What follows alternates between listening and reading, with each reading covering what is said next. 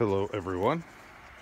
I just finished 99% installing the Iron Baltic, I think it's called Iron Baltic.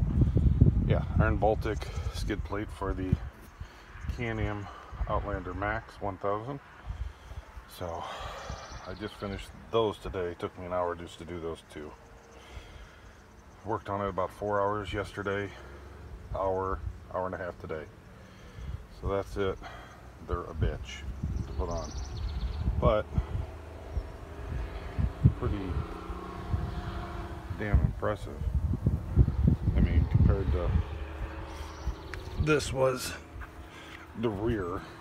This is what was on the rear compared to I mean, these are tiny compared to those.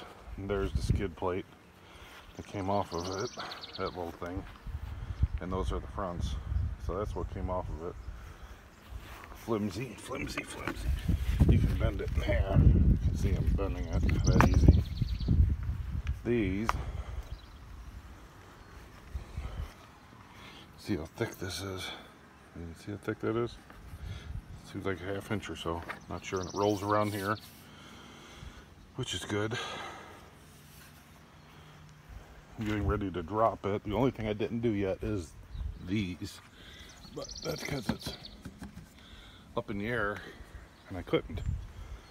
So, getting ready to drop the Can-Am. I threw it on my tree. I'll take a go back a little bit so you can see. There she is. So I'm gonna drop it and then I'll do the front.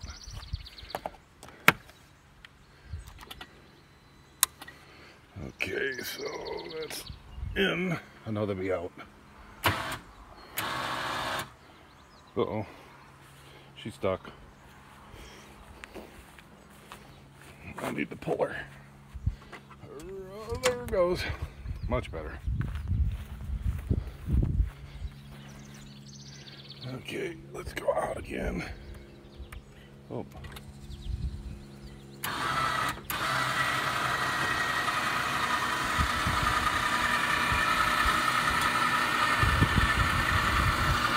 Doing this with one hand, sorry if everything's messed up on it.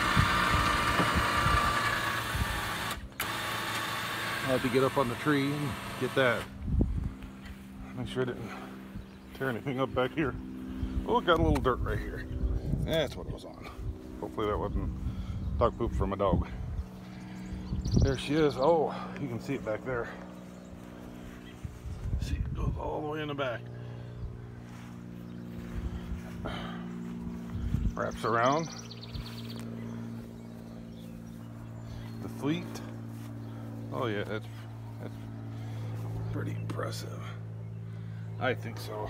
Just have to do the front. That's it. Just want everyone to show, show everyone. Oh, one thing, you'll have a few extra parts, not many. I'd save everything. Keep your directions because it has a list of all your parts. And if you need it, need any new parts, you just tell them what number you want and they'll send them to you. There you go. There's my